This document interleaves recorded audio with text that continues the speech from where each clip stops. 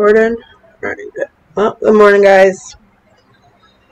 I'm a little bit fucking exhausted. I stayed up until way too late trying to get that editing done, and then it still wouldn't. Export, upload, struggle is real. Let's just put it that way. So, getting a little bit of a slow start today. Um, I had a friend of mine who is kind of like a, a inside soundboard for the true crime shit.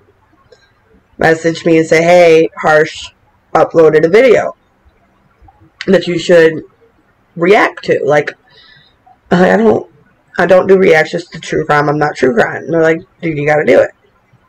So okay, fine, I'll do it. But like, if nothing comes of this, you and you're not to see this video. So if you end up seeing this, then there's something of relevance that happened in this fucking video. But as we've all seen with true crime, there lack thereof uh, has no has, I have no faith in whatever the hell I'm about to watch. So I have no idea. You have no idea. We're gonna find out together, I guess.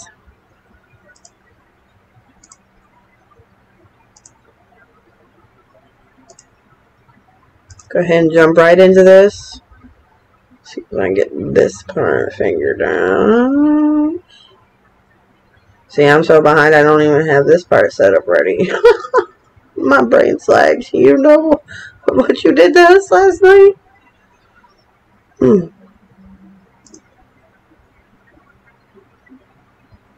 Alright, let's get into it.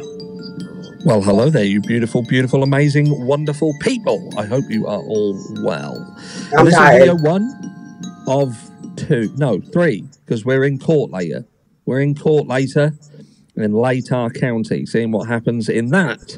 Let's hope that um, Bill Bill Thompson doesn't have a coronary during that hearing because he was very close Some to the shit I don't follow. time? But anyway, he's looking absolutely amazing on this Thursday. Terrific, fantastic, brilliant Thursday. I'm just celebrating because I actually know what day it is today. You bring it and that is a a little bit. rarity for me.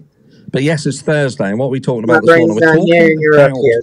Riley Strain. Riley Strain was a young man who would um, would go missing after attending some bars, and he would be found a few weeks later, about eight miles away from where he went missing in the water. And since then, there has been much speculation on how he got there. There was video footage, grainy again, looked like it'd been filmed on a fucking potato.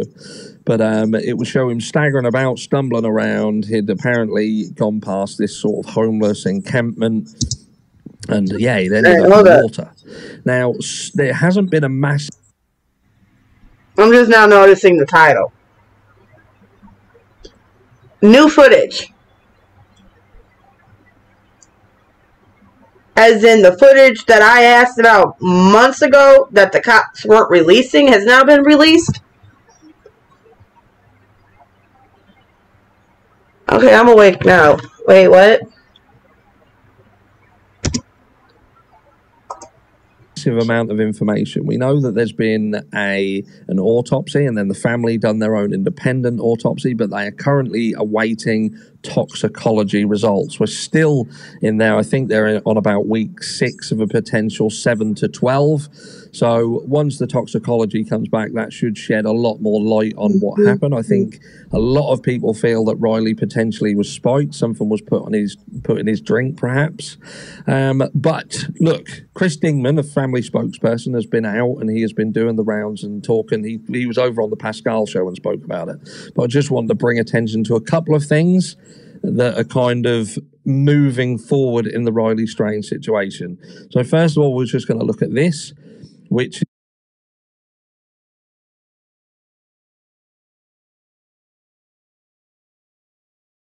which is um, Riley's Act. There's a petition um, seeking downtown Nashville bars to call cabs um, for intoxicated individuals. There should have always been a fucking thing. Um, signatures. Petition named in honor of University of Missouri student Riley Strain has garnered over 30,000 signatures. Um, Strain's body was found in the Cumberland River on March 22nd, two weeks after he was last seen being kicked out of Luke's 32 Bridge, a Broadway bar. And the petition posted March 24th on change.org is titled Riley's Act. So head over to change.org, Riley's Act, and go and slap your signature on there if it's still up there.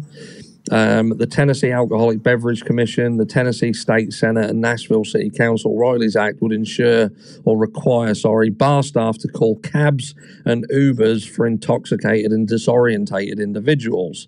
We're all young once and made choices such as over drinking, reads the petition. It is a business owner's responsibility for safety, not only at their establishment, but also for their customers to leave safely. Um, goes on to say um, a couple of things about that, and then it just says at 9:35 p.m. our security team made a decision based on our conduct standards to escort him from the venue through our Broadway exit at the front of our building. Said a statement. He was followed down the stairs um, with one member of his party. The individual with Riley did not exit and returned upstairs. Um, yeah, it's fucking annoying, isn't it? because again, it's it should be if you go out with friends, and if one of them don't seem right, do you know what I mean? Then make at least make sure they get home. If anything can be learned from this, if you go out with friends, whether you're male, whether you're female, and one of your friends, don't let them fucking leave on their own. Just it might take half an hour 45 minutes out your fucking evening just make sure they get in a cab you know get or, or 20 what how long does it take to put someone in a cab and give them your home address and say can you make sure he gets home please?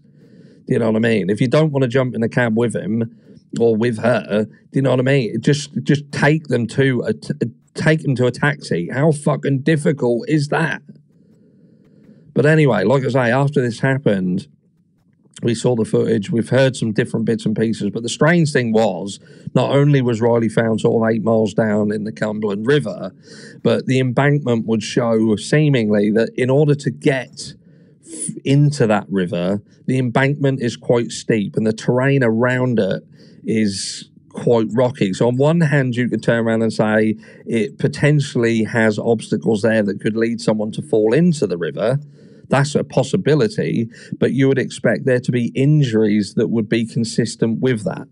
And the initial reports coming out of the autopsy would indicate that there was no injuries. There was no injuries. We still haven't got a clear answer on water in the lungs either, um, which is you know something that is also indicative of whether someone drowned or not. There are sort of variations to that in terms of dry drowning. There is a possibility for that to happen, so it's not always a, a dead cert that someone who drowns will have water in their lungs. Look at the Kiely Rodni case, for instance. But what Chris Dingman is saying is there seems to be people coming forward and indicating there are a lot more cameras around that area and seemingly pointing down towards the river. They haven't been given this um, footage, they haven't seen it themselves, but it has been indicated that there is a lot more cameras and they could produce a lot more footage that would potentially show right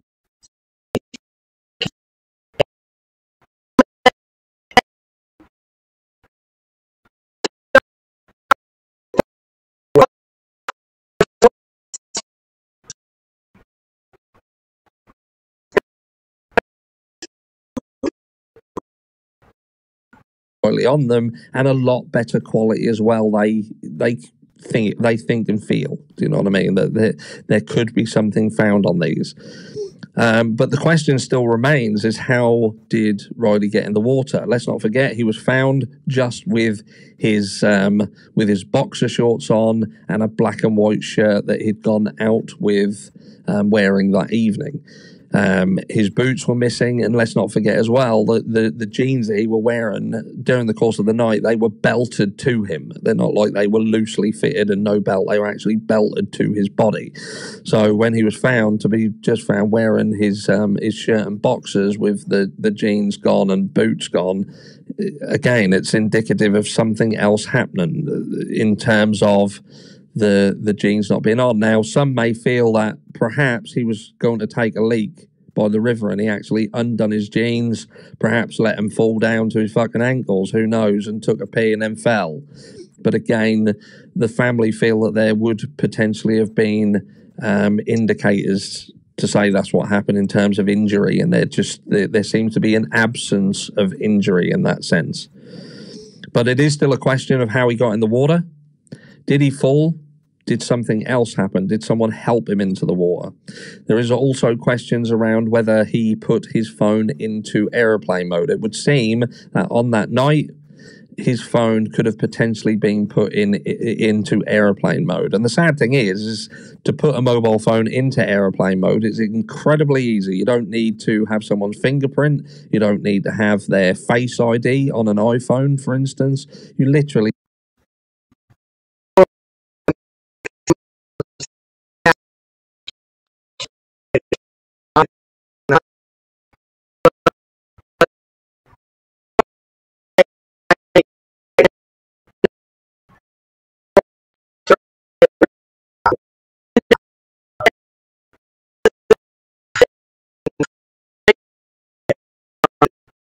just swipe down from the top right hand corner of the phone and hit the aeroplane button and that is that's game over. The phone is placed in the aeroplane mode. But there's a lot of questions still happening. We're keeping an eye on it. As soon